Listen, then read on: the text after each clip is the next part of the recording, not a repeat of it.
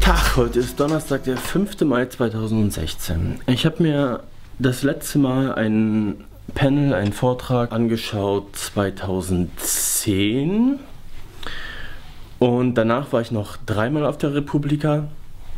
Mm, also ich war 2008, 2010 und noch dreimal, also jetzt fünfmal inzwischen. Ist immerhin 50 Prozent. Naja, also 2010 habe ich mir das letzte Mal was angeschaut.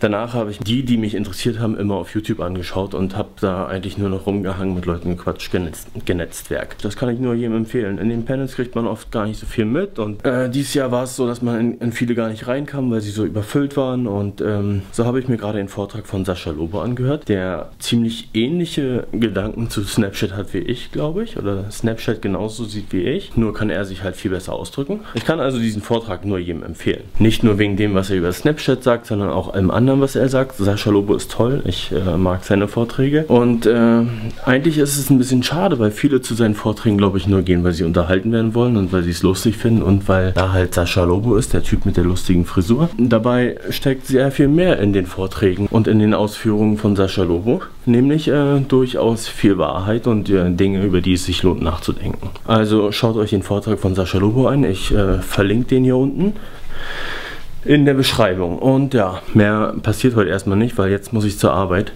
Heute ist Feiertag, Herrentag ähm, oder Vatertag oder Christi Himmelfahrt, wie auch immer man das nennen möchte. Mir ist das relativ wurscht. Also mehr wird nicht passieren, ihr könnt eigentlich abschalten. Ähm, ich habe heute nicht zu mehr Lust gehabt in diesem Vlog und äh, so eine kleine Morgenroutine reicht ja eigentlich auch. Dann machen andere Leute auch äh, Millionen von Klicks. Spinner.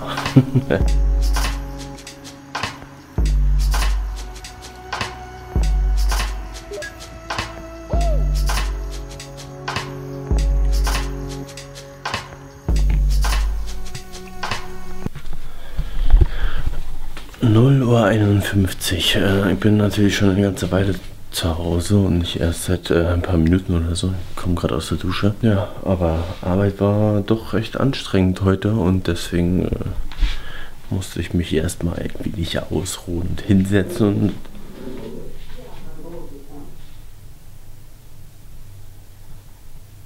keine Ahnung.